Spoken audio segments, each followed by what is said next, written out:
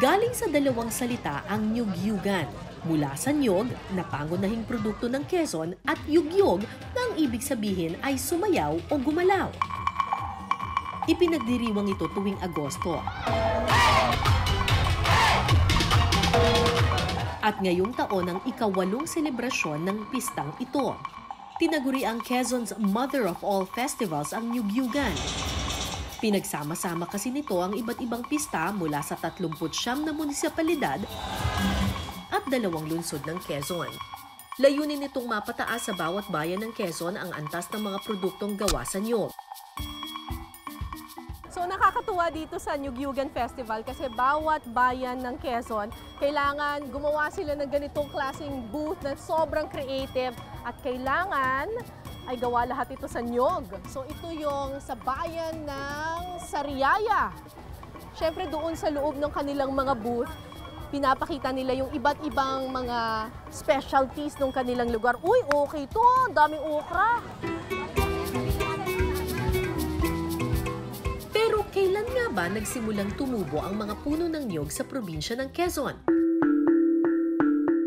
Plantation at resort na ito ang bubungad sa iyo pagpasok ng Quezon.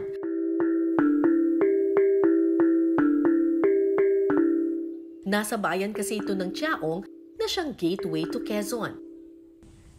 Isa sa mga paborito naming puntahan nung bata pa ako ay ang Villa Escudero. Tuwing summer yan, magsiswimming kami dito, tapos ma-enjoy lang namin yung malamig na simoy ng hangin ng probinsya. Pero alam niyo ba mga kapuso na yung Villa Escudero ay more than 100 years old na? Yes, 1880s pa lang nagsimula ito bilang isang hasyenda, naging malaking coconut plantation at ngayon buhay na buhay pa rin ito. Sabi nga ng mga may-ari nito, itong Villa Escudero na buhay dahil sa biyaya ng nyog. Ang Escudero is a family that came from Spain. Nung unang panahon, ka namatay ang, ang head of the family, ah, ang mga magmamana only is the first son. The rest has to go to the colonies of Spain to find a new livelihood. That's what happened to my family. 1880s nang dumating sa Pilipinas ang Espanyol na si Don Placido Escudero. Linya ng pamilya namin, nabili itong lugar na ito sa isang parang king. Ang pangalan daw ay Gapulintan. Nakatira sila dito and my family took them in in spite of the ownership. And uh, they stayed for a while but eventually slowly na nagbalik sila sa bundok. Dati nang may puno ng nyog sa Pilipinas, pero nang dumating ang mga Espanyol, itinuro nila ang iba pang gamit dito.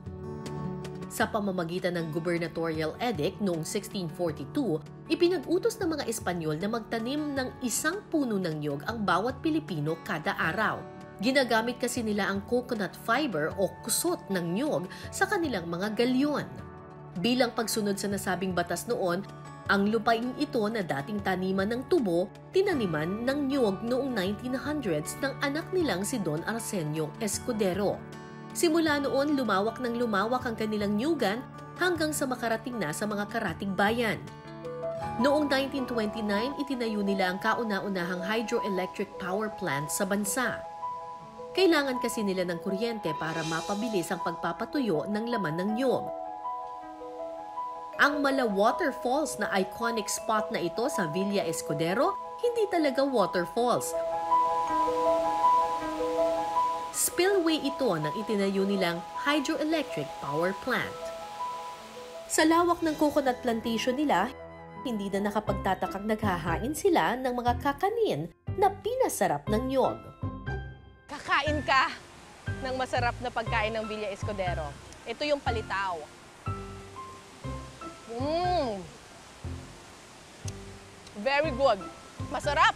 At yung palitaw nila talagang malaman na malaman. Hindi yung katulad ng ibang palitaw na sobrang nipis. Ito yung talagang mabubusog ka, isang piraso pa lang.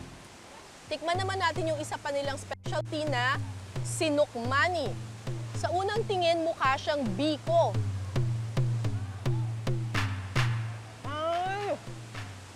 Sarap nito! Para siyang biko pero less sticky. Mas malambot. Pero gusto ko sa kanya, marami siyang latik sa taas. Mula nang unang magtanim ng niyog ang pamilya Escudero, mas lumaki pa ang industriya ng niyog sa Quezon ngayon. Ang lalawigan ng Quezon ay binubuo ng 2.2 million population at 300,000 mahigit dito ay mga magniniyog at mahigit 40 milyong puno mayroon ang ating lalawigan na kung saan na ito ang pangunahing kabuhayan ng ating mga uh, ninuno at ng ating kasalukuyang henerasyon. No? Maraming mga pamilya ang nakapagpaaral ng um, medisina, ng abogasya, sa kanilang mga anak dahil sa industriyang ito. At ito yung patuloy pa rin na pangunahing produkto ng ating lalawigan. In fact, in Calabarzon, 86% of the total uh, production of coconut in Calabarzon ay galing dito sa lalawigan ng Quezon.